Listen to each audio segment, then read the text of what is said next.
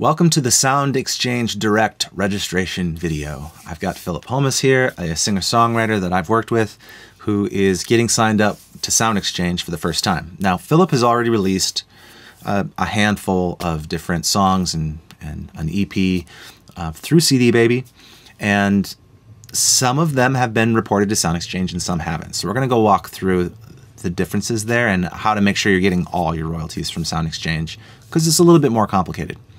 First thing to know is that Sound Exchange collects digital public performance royalties. So those are generated from internet radio stations, places where you can't just pick what song you want to stream. That's called on demand. On demand is like Spotify and Apple Music, that sort of thing. But Pandora or iHeartRadio, you know, you can pick a mood and a style, and then it acts more like radio where you don't get to decide exactly what song's going to play next. Sound Exchange also collects from satellite radio, so Sirius XM. So if you're getting any streams on these platforms, the royalties come in here and then they get paid out. Now the royalties get split in two, kind of like how PROs work, but for different people. Sound Exchange is paying the rights holder, so whoever owns the copyright to the master, that's 50%. And then they're paying the artist directly, which is 40%, 45%, and then non-featured artists collect 5% kind of unusual, but that's just how it's broken up. So basically, this is for people that own the master side of things, generally the artist or the artist's label, and then whoever owns the recording, again, the artist or the artist's label. Where this gets a little bit confusing is if you've distributed things in the past with CD Baby, it used to be their process that they would distribute it to Sound Exchange. Now, Sound Exchange, you don't go stream music there, but they would send it to Sound Exchange. And the royalties that were owed to the rights holder were collected directly back to CD Baby and then paid to you. So 50% to the rights holder was being registered by CD Baby, getting collected by CD Baby, then getting paid to you in your CD Baby account. But the artist side was never being collected by them. So you have to go collect your artist side regardless if you're an independent singer songwriter. CD Baby has recently changed how they do things, and now Sound Exchange registration is a part of what they call their Boost offering. CD Baby offers Boost, where they'll register it with the MLC for you. They'll register it with Sound Exchange, again, just the master side to Sound Exchange. They'll do those things for you for an extra fee. Because you can't collect the artist side through CD Baby, you have to go have an account and collect the artist side through Sound Exchange directly why not collect both sides? Because CD Baby is going to take a small commission for collecting that on your behalf, 15%. So I say you might as well go claim both halves and get it all if you're going to create an account anyway. And we just finished up a video with Philip doing a Song Trust sign up, which will do the registrations with the MLC for you. So these videos in part are basically to allow you to collect all your royalties as much as you can without using CD Baby's boost feature. There's nothing wrong with their boost feature. It's just slightly incomplete because it doesn't quite handle your global registration stuff the way that Songtrust will. That's in another video, but you can check that out. This is specifically for Sound Exchange. I think we've covered the basics to get going. So what we're going to find here is that some of Philip's songs are going to be in the Sound Exchange database, the ones that were pre the boost switch with CD Baby. CD Baby is going to be collecting the master half on that. And then the newer ones aren't. So we need to get him signed up with Sound Exchange and collecting both halves. So first thing you do is head to soundexchange.com slash register and you will show up to this screen. Click register and get started. You have a couple options. You can update an existing account if you needed to change something. If you're a session musician trying to claim that 5% non featured artist share. This is a specific account for those. Highly unlikely, probably not for you. So most everyone just click here to start. Who are you registering? So the first thing that you have to kind of understand about Sound Exchange, you're going to create an account and then under that account you have registrants. And that registrant might just be you as a songwriter. In Philip's case, that's going to be the case. But again, you can kind of have an account that would be a band account. And so the registrant might be the band. And then the band might be claiming multiple performers and multiple rights owners as well. You have to think through how you want to create your accounts. And I talk about this in the earlier part of my royalty videos that a big part of getting your royalties registered is first deciding, you know, who owns what, making sure you, you know who owns the song, who owns the master, what all those splits are.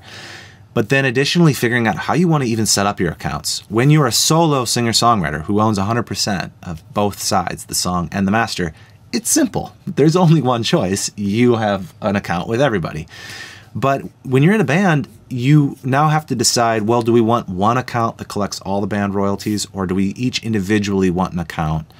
And there's pros and cons to each. You can reference those earlier videos to go over that. I'm not going to go over it right now, but for this case, it is just Philip. So we can select yourself. And then what are you registering as? A performer, a sound recording copyright owner, or both? Again, if you wrote the song and you own the master, then you, you want to register as both. If for some reason you're a performer on something but you don't own the master, then just performer or vice versa.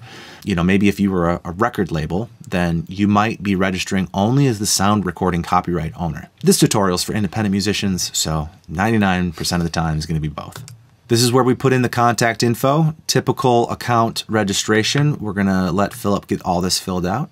Once you've added all your personal information and verified your identity, you're led to this screen, which they're asking for performer names. Do you record as a solo artist? Do you record as a member of any bands? And adding your artist names here rather than your actual name. So Philip's solo artist name is his name. And no band names? No band right? names. So Correct. we're just going to add the one here. But if you're in both, you can add those. With the band, they're going to ask what percentage of royalties do you claim, and if that applies to all recordings of this band. You can answer those questions and it'll have different prompts depending on your answer. But save and continue. For the sound recording copyright owner information, are you a company? Are you an individual? In Philip's case, it's an individual, which it defaults to. So, do you have any record label? You can put that in here too if you need. Otherwise, you can just leave it blank. And again, asking for percentages. He is 100%. Save and continue. Who will be accepting payment? Philip as well. They're going to make you fill out your tax information just like Songtrust and BMI and everywhere else. Yep. To have to go through that. Okay, we got through entering all of the tax information for Philip. One thing you'll run into is if you want to set up direct deposit, you have to upload a voided check. So if that's a barrier, you can always go switch to having them just mail you a check rather than doing direct deposit at this moment. Okay, once you're on this registration page, they just inform you that they're also going to now be collecting internationally for you, which is something that's sort of developing with Sound Exchange, collecting more royalties on your behalf. But essentially, you can just scroll down and you're going to enter your signature to be a member of Sound Exchange both as a performer, as the artist, and as the rights owner for the copyrights. We've been opting into that all the way through, so now it's just confirming that you're okay with being a member on both sides. Philip has successfully completed his Sound Exchange Direct membership. So you can print or save it here. No real need to do that. This is where you need to enter a little bit more information to allow Sound Exchange to collect your international royalties. They have agreements with other organizations around the world because every country has different royalty laws and they are trying to collect more of the international royalties that are not being collected by these other organizations. I believe that part of this is neighboring rights that they're starting to try to collect, which is royalties that are paid for when your song is played on the radio, like the old school radio. In the United States, only the songwriters are paid for those royalties. That's through your PRO, ASCAP or BMI there's no royalties generated on the master side, but internationally there are, and they're called neighboring rights. And I believe that's what is going on, that Sound Exchange is starting to collect the neighboring rights from certain organizations internationally and then paying them uh, back to. So that would be if, if you're played on actual old school radio in Europe or something like that. So here it's got everybody defaulted, Philip's performer side and the rights owner side have Sound Exchange collect all territories yes, just keep that the same, and again, agree with your signature. Okay, so now we gave Sound Exchange the right to collect all international royalties on Philip's behalf as well. New registrations generally take 30 business days, yada, yada, yada. Okay, so we're registered, at this point, we're registered with Sound Exchange, but not with Sound Exchange Direct, which is your actual online portal. So we actually just tried signing in thinking that, you know, that's what we had just done. But right here in small print, it says, You know, if you're registered with Sound Exchange but have not yet set up access to Sound Exchange Direct, then you have to join that still. So I just wanted to point that out because that confused us as well. Go ahead, Philip. Okay, we just got Philip signed up with Sound Exchange Direct. Now, this was a little bit more complicated than I think we anticipated, so I'm just going to give a brief little uh, history of what happened, which is we finished signing up Philip with Sound Exchange and then went to log in, and it seemed like there was no account there. So there's sort of two things there's Sound Exchange, becoming a member, and then there's creating an online portal with Sound Exchange Direct. And what happened is when we went to the to the login information, we ultimately needed to say join, and then we used the same password that we used to create the membership, and just had to wait a, a while for it to come through. It, it took, I don't know, five ten minutes mm-hmm. to actually show up in his email, and then that link allowed him to finish setting up his actual Sound Exchange Direct online portal. So if you have problems with that, they do have an email there for customer support. There's a number. We tried calling the number, and no one answered, so can't necessarily recommend that. But eventually, a, a confirmation link did come, and yep. we were able to set this up. But just a heads up that it might be a little delayed. Yeah. Once you get logged into Sound Exchange Direct, you can start actually getting your songs registered or claimed. So this is the dashboard, and it's got one listed registrant, which is Philip's actual name. That's what he used, but you might have your band name here or something else. And then you have to finish getting everything enrolled and then go start claiming your royalties. And we'll walk through that. Let's go to the membership status first. This lists all the registrants that are in this account, which is just the one. And then you need to update these mandates essentially. It's asking us to also authorize the Audio Home Recording Act. I would just click and roll on all this stuff.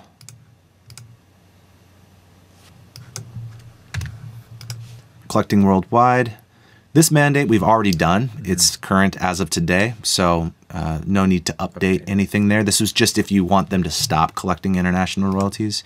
Your membership date's here. So everything should be good to go. And this is where you can start to add if you had a band account, if you were going to add multiple performers or things like that, again, in this case, you can just select the section is accurate and complete and move forward. All right, so you've got your registrant info, which is mm-hmm. your yourself. And then you can go to My Catalog and go to Search and Claim. This is where you can see yourself listed and then you have two options. You can claim stuff as the artist, that 45% of royalties, and you can claim stuff as the rights owner. So in Philip's case, he's both. We're going to claim both. So let's start with one that is not registered. So one of your newer ones that wouldn't have been reported to Sound Exchange at all, which is your EP, and, right? Yeah, anything off the EP. Okay, so let's start by claiming as an artist. It's got you listed as a performer here. It's just reviewing. That works. Great. And we're going to search for recordings. So again, this is really got to happen after it's already been released, not like the day after it's been released. You know, these databases take some time to propagate. So wait a few weeks. The song's out. This has been out for a little while now. Mm -hmm. So we can search this database and his stuff should show up. So we're going to put his artist name in. Mm. And here they are. So we've got his stuff. These first yep. three are him, and then there's a bunch of other people with similar names that are not him, right? So you got to sort through this. There's 1,700 results. Now, you can narrow the search by saying exact match, and these three show up. Should be more, but this is not uncommon. This is why you've got to do this stuff on your own. You can also enter in ISRC codes, album names, things like that to help. And so you might just need to keep narrowing search results down. But let's start with these three since they do show up. We're going to continue to organize claims. Now we're doing an artist claim right now. Keep that in mind. The first thing you're going to do is add each one of these songs to what they call a lineup. And this is because if you're in a band, for instance, and you've got 10 songs, and three of the songs one person wrote, three of the songs another person wrote. Three of the songs were split evenly, and one song was just three of the four members or something, mm-hmm. right? They're all different split agreements. Mm-hmm. What you can do is say, well, this song belongs on lineup number one, which was all Philip. And this song it should be on a new lineup called lineup number two, which was 50 50 with the rest of the members, and so on. It's just kind of a bulk registration tool so that you could quickly say these 10 songs are going to be 100% this person, and these 10 songs are going to be 50 50 these two people, and so on. Again, in this case, things are simple. They're all the same split, so they can all go on the same lineup. So we're going to add them all to lineup one, and then we're going to go to claim and we're now going to put Philip's percentage at 100 for the artist share. The artist name, you need to have the actual artist name. Philip, if you're using some other name besides your name, then put the real artist name in. For Philip, he does use his own name. Click that it's all good. Review the claims. Looks great. Submit and those are going to be processing. Mm-hmm. Let's go back to search and claim and now do it on the rights owner side. The same three are in this database, so we're going to go claim those. Kind of the similar thing where you need to put in the percentage of the master that you own. So again, if you're in a band, then, and this is a band account, maybe the band is going to claim 100%, but if everybody has their own uh, Sound Exchange accounts because maybe some people have side projects or other bands, then in your account you would say, well, I'm I own 25% of the rights half and I own 25% of the artist half. Whatever your splits are, it's important to have that information before you even go do this. The other thing you have to do here is select your date range. Perpetuity is forever. Mm -hmm. I don't know if we have to put an inception date. We're going to find out here. Yeah. You can just put a day that is whenever it released or, you know, slightly before that. They came out last fall. Yeah. We'll just go back to like October October 1st, 2023. Let's do that. Yeah. Okay. So we'll do that for all of these.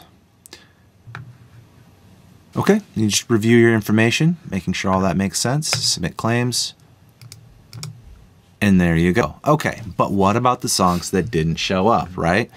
That's where you can go into your catalog here and okay we, we paused the video because we ran into another little weird thing that i'll just let you know which so we, we claimed we searched the database we claimed the artist side and the master side for the three songs that showed up in the database but yep. there should be others right? right there are some that are not in this database the ones that got reported probably got reported from cd baby yep which is interesting because there was only three and on that ep there's how many well, two were from the EP. One was a separate and release, and then there were two, two other ones that weren't.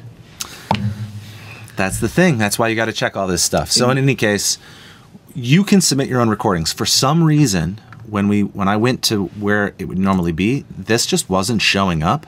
So if that happened to you, all we did was log him out and log him back in, and it was back. so I don't know why. Uh, I just want to throw that out there. If, if you're following along and you're like, I don't see where submit recordings is, just log out, log back in, and hopefully it's there. But first, we went to search and claim, looked in the database for anything that was existing, and just put in our claims. Now we're going to go to submit recordings. So if these songs are not in the database, this is what you have to do. And we're going to add a recording. And then there's all this information. So artist name. Which one do you want to do first? Uh, let's do melatonin. All right. So this is where you're going to need to get your ISRC number. You can look it up. If you Google ISRC Finder, it's an easy way, or you can go back to your distributor. We'll use ISRC Finder this time okay. just to show people another way that this can happen. There it is. Yep. Grab that, put in the ISRC number version, it's not required. Um, but if it was like club mix or mm-hmm. radio mix or whatever, different edit, where you might put that down. Again, these things aren't required, but do what you can. At this point, you could put Songtrust down as your publisher. Uh, even though it hasn't gone through yet, again, it's not required, so you could also just leave it blank. ISWC count, if you have that, you can throw that in. We're going to skip past that for now. Composers is Philip again. countries of first release, copyright owner, country, or nationality. A lot of this stuff is just for tax implications. Um, basis of claim, copyright owner. Authorized collection designee if you were collecting for somebody else, mm-hmm. but again, most of the time that's not going to be the case. Percentage claimed 100%. Rights begin. Let's do inception yeah. is fine. Got it. Rights end, perpetuity, territories of collection worldwide. And then this is where we're going to match up the releases. So what we've done so far is we've got this recording, recording entry number one, recording claim information. This is still all for the same thing. So we're going to do Philip again here. This was on an EP called Nocturne. The UPC, we're going to need to look up in CD Baby. This is the UPC right here. The label, Philip just self-released, yep. so for the release label, you can just use your artist name if you're not signed to a label. It's fine. Release date, again, was 9 29 23 We're putting in our claim. So this is putting in a claim as the rights owner, I think, primarily. Mm-hmm. Um, once this gets processed, you'll probably have to go back and claim the artist side as well. Right. But now you can do this in bulk too. So if you have a bunch of these that you need to do, we just did one song at a time, but I do believe there is ways to import it via a spreadsheet and that sort of thing. You can go look at their template here if you want to do that. This all looks good. Go to top, we're going to hit submit. And now we've put that in their database and the rights owner half will be claimed once that all finishes processing. I'm pretty sure we'll have to go back and do the artist side too. Yeah. And you would just do that again and again and again. We're not going to do that for all of them. Okay. The only other thing I want to go over here quick is that if you find after let's let's say you claim some and for instance intensify that one was distributed by CD Baby. Mm-hmm. That's in the database already because CD Baby put it there. And they're likely, if we go back into CD Baby here and we go to Intensify, let's look here. And we look at the distribution and the partner delivery. Again, I think yeah, yep. see, they delivered it to Sound Exchange, which is why it's there. And I bet the other two are there because they were released as singles, right? Mm-hmm. Yep. Yeah, and, and they were released ones. as singles, so that's why they were in the Sound Exchange database. They don't do this anymore. But if you have old stuff and you notice it's in the database, what's going to happen here in a few days is you're going to get an email that says there's a disputed claim on these. And that CD baby is claiming the rights owner share of this because they are. They are they distribute it to you. And are collecting on your behalf. But CD Baby's policy is to just relinquish a claim if there's a dispute. So don't worry. When that email comes from Sound Exchange saying there's disputed claim on these three songs, just say okay and yep. just give it time. Eventually CD Baby will relinquish their claim and it will fully become yours. Now, if they're in the database and CD Baby is collecting on them, you could say, fine, I'll just yeah. let them collect. It'll keep going into CD Baby and I'll just claim the artist side. Okay. Okay. You have that choice if you'd like to do that. But I would recommend for Sound Exchange to claim all of it because you're just going to collect slightly more royalties. Might as well. You're in there mm-hmm. doing it. It's easy. It just takes a little bit of time. Yeah. That's the in and out of getting these all done. You just to recap a little bit here for people because it's kind of confusing. You're going to have a registrant that's going to be your your name, your band name, something like that. It could literally be anything you want it to be. The registrant is not necessarily the copyright owner. It's not necessarily the artist. You can separate these things, which gets a little confusing. I would use your name in most cases. And then when you go to catalog, you can start by searching and claiming, just seeing what's in their database already.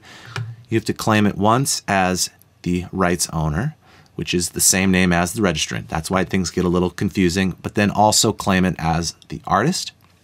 If you've got multiple artist names, you can add more performers here. If it's not in the database, that's where you want to go to submit recordings and fill out that form with all the relevant information to get that recording in the database. You can look at your submission history. Eventually, the associated recordings are going to start showing up here as they get cleared. And then once you have all your payment information, all that kind of stuff set up, you'll see royalties come in if they're generated. Awesome. All right, I think that wraps up our Sound Exchange video. I hope this was helpful to people. Reach out if you have other questions and I'll try to answer them. Thanks for watching.